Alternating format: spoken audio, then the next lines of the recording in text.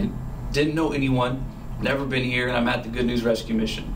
Uh, I'm in a homeless shelter, and I hated it. Uh, my name is Rudy Saenz. I'm 31 years old, and I live in Redding, California. Growing up, my childhood was uh, it was good and bad. There were pros and cons. Uh, my my parents worked very hard, and I had everything I needed in terms of uh, a roof over my head, uh, food on the table. I could never really find uh, a group of people that I could fit in with. Um, and as I went through high school, uh, I got cut from all the sports teams my freshman year. I got cut from basketball, football, baseball, and I had no one who was really a close friend. Mm. So around my junior year of high school, um, I met some kids who smoked marijuana. Um, I spent time with them. We smoked some weed, and we just we connected. It was easy to fit in with them. Um, I had some money. I fit in, and that's what I was looking for. Um, I found my group of people.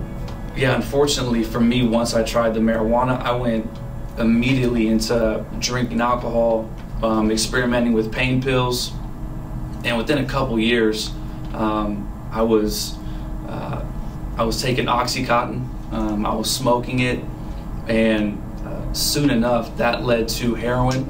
Uh, I was getting DUIs, and my second DUI, uh, I don't remember any of it. Uh, all I recall is I woke up uh, in the drunk tank in Sacramento, and from the police report and from what I was told, um, I had totaled my car I had totaled another car, and there was uh, a tree in the back seat of my car, and uh, apparently I had climbed out the front, and somehow, some way, I didn't have a scrape, I didn't have a cut or a bruise. Um, I was unscathed, uh, and I still don't know how that happened. my life spiraled out of control as I progressed through that old life. Uh, I couldn't help but, but see things happen that went beyond coincidence. Uh, I would bypass serious consequences. As I was, I was in jail. I was waiting for my court date, and uh, I was led into the court. Uh, and when you're in custody, you come in with handcuffs on, and it's very, um, it's demoralizing. And as I sat down to hear the the judge read off what amounted to 24 felonies against me, I looked to my left and I saw my mom and dad sitting in the courtroom. And I remember looking at my mom and I could see uh, the pain and the worry and the sadness and the fear on her face. And uh, that just shook me. It was so unexpected that uh, I'll never forget that moment. It was terrifying. The way it, it, ended up going, it, it, worked out better for me. Um, the crashes, the DUIs, something was telling me that that was not my story, that that was not the end. It was just uh, a chapter of my life. And uh, I soon came to find out that um, there was a calling on my life that God had placed on it, um, but I had just not realized it yet. But I could always sense it. There was always something telling me that. The judge gives me an opportunity to go to the Good News Rescue Mission. When I first got to the mission and I did the program, it was good, but I hadn't yet really met Jesus. So when I finished the program, I went right back right back to smoking heroin almost immediately.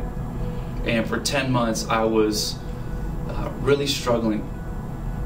But I remember uh, near the end of that, there was a night when I had reached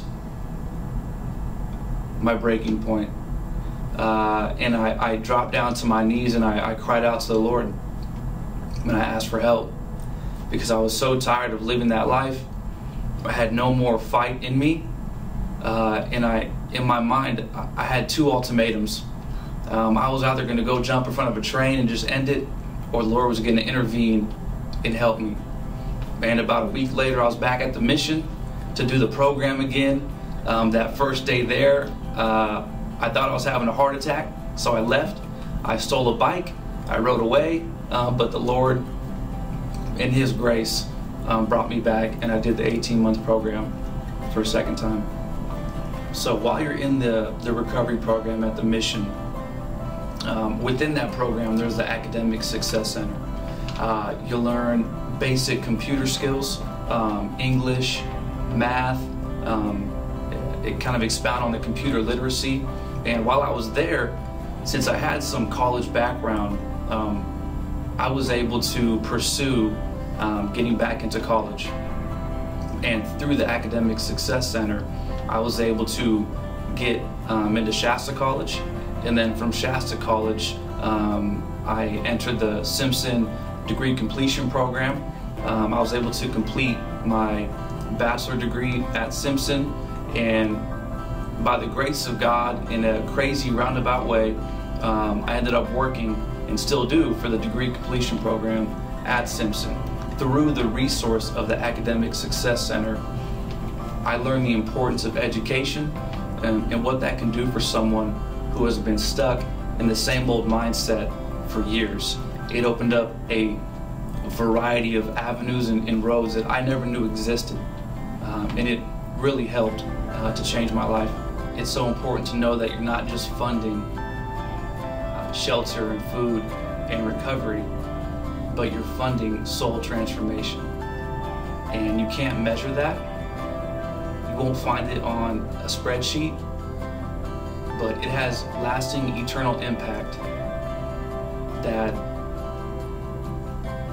is just incredible. So just keep that in mind. You're funding soul transformation.